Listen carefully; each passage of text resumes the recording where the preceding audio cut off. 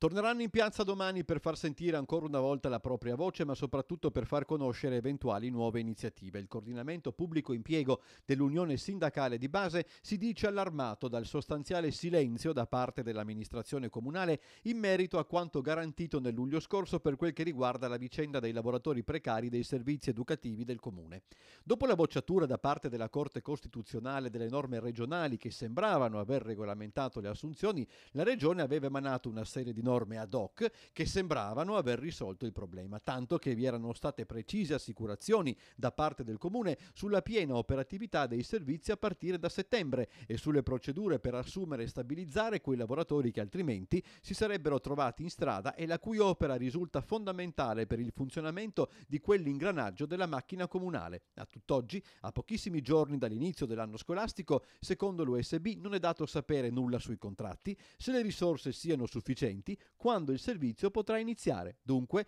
per sollecitare risposte chiare e precise, domani ricomincia la mobilitazione.